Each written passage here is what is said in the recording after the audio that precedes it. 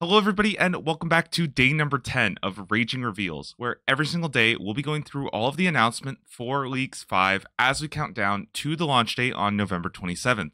Yesterday, we saw Combat Masteries, a massive new progression system to Leagues 5, which will open up some crazy new builds and allow you to specialize as well as hybrid as you'd like. I know I've already been going back and forth so many times. I think I changed my build like seven times yesterday. Today's announcement is a series of quality of life features coming to Leagues 5. So, yeah, not really the most interesting. No, I'm actually kidding. There's some really good changes here that I think are going to uh, change what you're thinking about for Leagues and might even move you off a region or two. So let's start off with mini reveal number one. Everybody will now be able to purchase a max cape from the Sage in Lumbridge upon reaching max level, regardless of what regions you have. The Sage is kind of like the League's NPC. It just hangs out there, gives you all the items and stuff. It already gives you your combat achievement reward, so you don't need Asgarnia for that. And well, now you can also get a max cape. You won't need Asgarnia for that either. And I think that that's been one of the best items you can get from that region. First off, I think that this is a really good change that's going to reward people for grinding to max in leagues,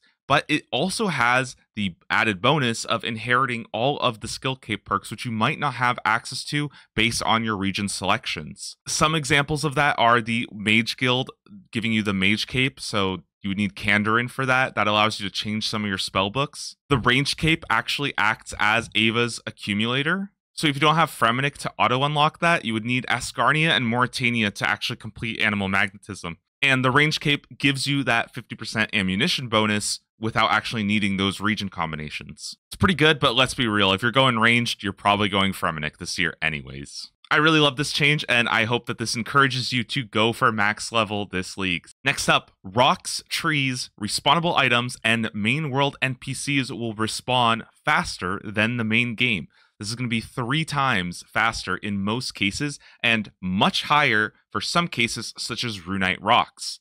I know that a lot of people were worried that with Power Miner, sure, you'll be able to get five times rocks, but you know, if it takes like nine minutes for some of these nodes to respawn, then you're going to be world hopping a lot. Well, it seems that in general, all resource nodes are going to be respawning faster. This means less time waiting and more time actually skilling and playing the game. And those really rare resources, such as Runite Rocks, we don't have a full list yet, but I feel like this is going to make those a much easier training method. Those tier 1 harvest relics really get a lot of benefit from doing very difficult nodes that have a high failure rate. And I think that that's going to make it feel a lot better, and you're not having to like world hop to actually catch them. I'm also really curious about those respawnable items and those main world NPCs, as I think this is also going to make Slayer feel a lot better when, you know, mobs are just spawning a lot faster and you're not having to wait for them. And you can share it with a lot more people just because you're not competing as much.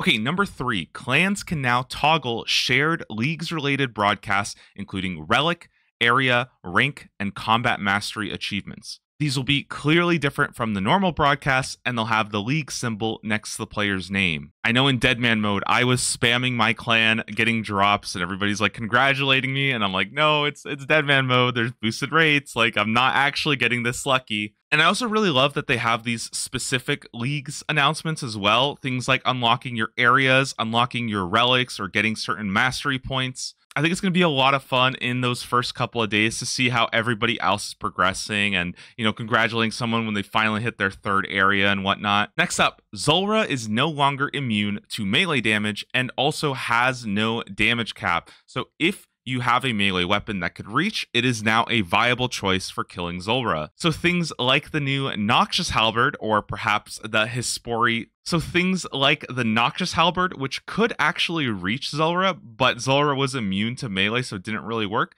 Now that's actually an option for taking on Zulrah. It also means that the Nature's Reprisal, the new Echo reward from Hespori, will also be uh, useful here, and you'll actually be able to take on Zulrah with melee, and I think that makes Tirannwn a very solid melee option now. Remember that the salamander that you get from Echo Hespori, or as I like to call it, the Hespori trumpet, that also benefits from the crystal armor bonus if you have the crystal blessing in the Tirannwn region. Unfortunately, I don't know if this also applies to Leviathan as well as possibly Zuk, and I'd be curious to see if that still works against them. I think it should be yes, but I haven't seen any confirmation about those two. I know that that's a place where Melee also kind of struggles. All right, reveal number five. Rather than receiving a Twisted Bow from the Chambers of Xeric, a Scythe from the Theater of Blood, or the Shadow from Tombs of Amascut, you'll now instead receive a Mega Rare voucher, which can be given to the Sage for the weapon of your choice. We already knew that raids will award all three of the Mega Rares now, but now we know how you'll actually be obtaining them. This means, regardless of what raid you end up doing, once you hit that Mega Rare voucher, you can pick the specific Mega Rare that you'd like. And it's also going to make sure that you're not getting any duplicates. So you're not going to be swimming in like five Twisted Bows before your first sight. I mean, I guess you could redeem them all for twisted bows if that's what you're into. Now, the only thing about this is I'm not sure how the drop rate will actually play out. I feel like it reads like it's just going to be identical to the drop rates uh, from the past. This does mean that you are going to have to grind out three of these if you want all three items, though. So, um, you know, that is going to be quite a lot of raids that you're going to be doing. But I think the most important thing that people had questions about is that if I do a raid, am I like, you know, hurting my chances of getting the mega rare I actually want? And that doesn't seem to be the case. You'll you'll do whatever raid you want You'll get your Mega Rare voucher. You'll get your, you know, item and you'll be fine. Next up, reveal number six. Instances have been created for Cerberus, Sarachnis, and the Thermonuclear Smoke Devil. They've also removed the timer when attempting to enter a Dagannoth King's instance shortly after leaving. This is a massive quality of life update because all of these bosses in seasonal modes have struggled competing with other players when they don't have access to your own private instance that you can enter and having to hop worlds constantly to find a empty world is just not a fun feeling. This is really going to make grinding those kill count tasks a lot easier when you're not having to, you know, fight for your world. Keep in mind, however, that last recall has been used specifically for bosses like Cerberus. You could actually teleport out when Cerberus would spawn ghosts and then last recall back instantly, and the ghosts would basically not do anything. So if you are running Total Recall this year, you may want to consider opting for the non instance version so you could still take advantage of that. In fact, with Total Recall, you'll basically be able to set your save state right next to you and then instantly restore your health, your prayer, and your special attack without having to move at all. So if you're going Banker's Note, please do us a favor and go to the instance. All right, let Total Recall players have fun in the non instance version. Again, this is just really awesome for Zeah with Sarachnis, Asgarnia for Cerberus, and Fremennik for those Dagannoth Kings. I don't know how much this helps Kandarin, however, as there's probably going to be two empty worlds per person who picked Kandarin anyways. Moving on to reveal number seven, Tormented demons will be accessible without needing to complete while Guthix sleeps, meaning the only requirement is a Sapphire Lantern. We kind of saw this hinted at with the combo item drops. We saw that Tormented demons are going to be accessible to everybody with just Misthalin. And just like the Desert Treasure 2 bosses can be fought without requiring the quest, you'll also be able to do Tormented demons. And while Guthix sleeps will not be auto completed, so you're not going to get the benefit of all of those preliminary quests. I think the big thing here is everybody will have access to those Demon Bane weapons that you get. You'll actually be able to take a Tormented synapse and like right click it and turn it into one of the three options, just kind of similar to the Mega Rare voucher, meaning everybody will also have access to Emberlight, the Scorching Bow, and the Purging Staff. These Demon Bane weapons are surprisingly strong. I think I might be using them for something like Abyssal Sire, and they might be very good entry weapons for Cerberus, the Duke,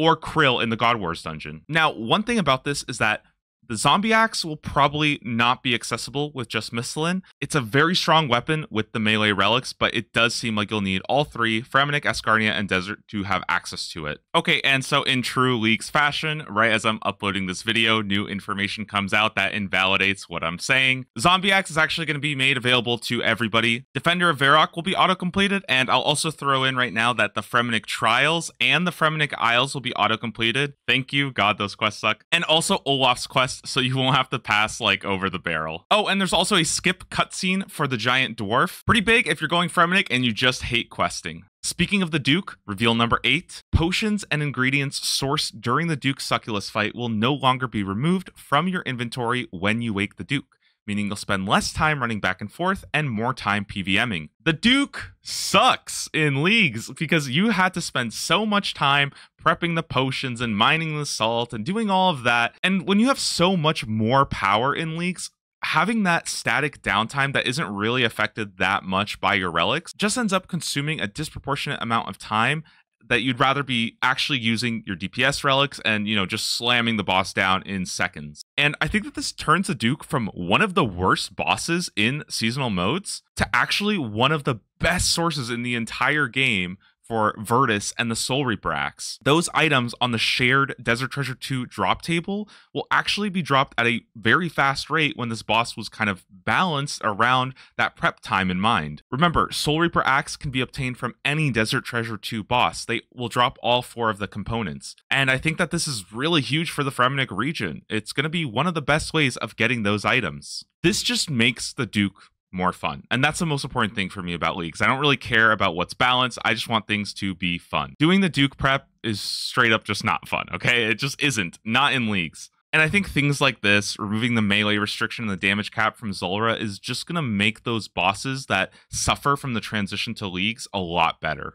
I'm really looking forward to this. I cannot wait to get into this with one of those Demon Bane weapons. And finally, reveal number nine pet cosmetic overrides are now carried over between leagues, including any that you might have unlocked in Trailblazer Reloaded, but not prior leagues. So this means that anything you got in leagues 4 last year will carry over this year as well as future leagues, but not for the first 3 leagues. Man, I love this change. There is something so beautiful about everybody grabbing, you know, their old little pets from last year and pulling them out especially since with the region locked format, you might not even have access to that boss this year. I know my pet Thermi is going to be following me around because I don't think I'm going Kandarin. And damn it, I wish I knew about this last year, okay? Because I'm pretty sure I didn't bother with grinding out all the like cosmetics from uh, Tombs of Amascut. And now I'm like, wait, I could have had a pet Zebak this year. Like, what? It's a great change, and I know a lot of people have been asking for it. I know a lot of people actually use leagues as like their main motivation is to grind out all the pets and stuff. Pets aren't boosted by the drop rate.